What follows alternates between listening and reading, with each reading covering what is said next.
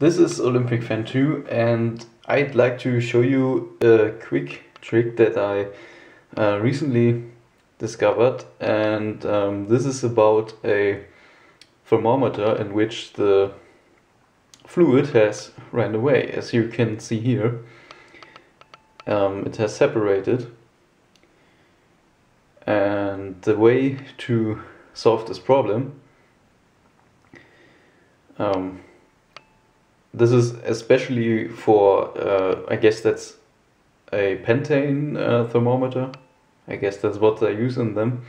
And so what you have to uh, do is, in this case I took a piece of wood uh, which is soft enough not to uh, break the glass but um, obviously get some uh, frequency um, in it so um, that if you uh, hold it upside down uh,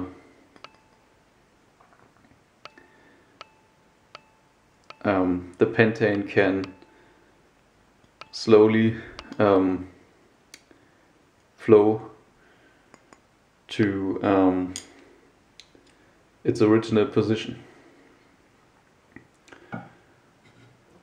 This is going to take a little while. Um, what is might helpful um, is if you warm this up because then um, the pentane rises. Um, you only have to um, beat against the wood because if you don't do it then also the fluid will be pushed up because there is some uh, gas pressure that also builds up as the fluid uh, runs to the top. So let's get started.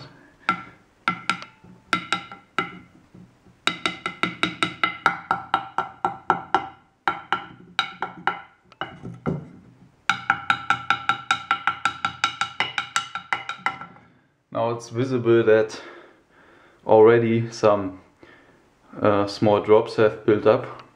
This is going to be continued until the thermometer is uh, healed again.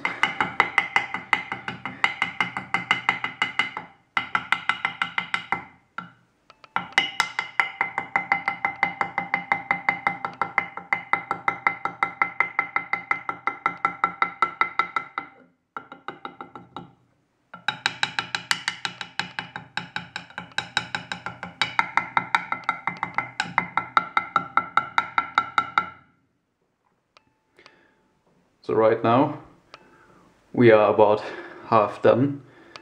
Um, but I'm not going to show you the complete part because as I said this is going to take a little while, at least one or two minutes you have to spend with it. But if you are done, everything is uh, completely fine again.